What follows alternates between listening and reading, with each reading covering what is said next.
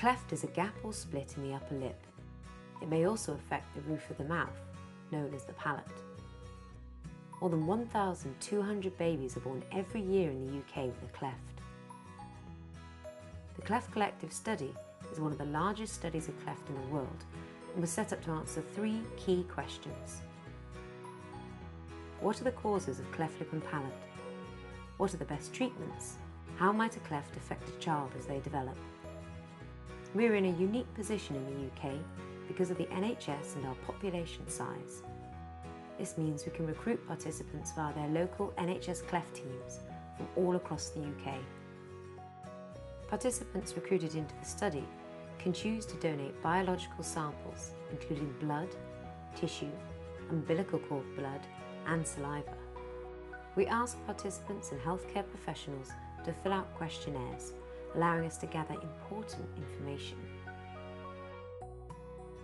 For some children in the study, we collect audio recordings of the babbling noises they make whilst learning to speak.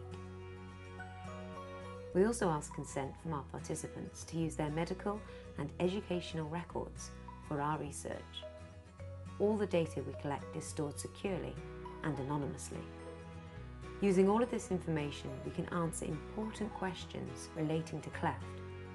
For example, in the laboratory we will extract DNA from the biological samples to look for genetic factors which may contribute to causing a cleft. We will use information from the questionnaires to study the well-being of a child as they grow up. The recordings of early speech and babies babbling can help to identify which children born with clefts are likely to need more support with their speech development.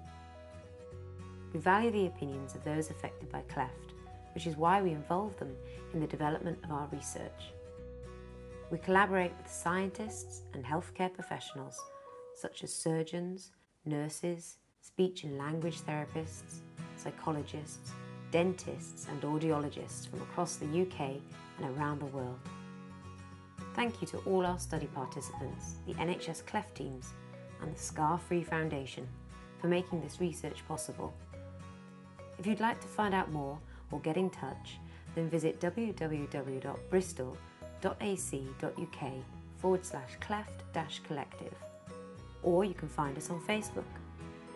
Or follow us on Twitter at Cleft Collective.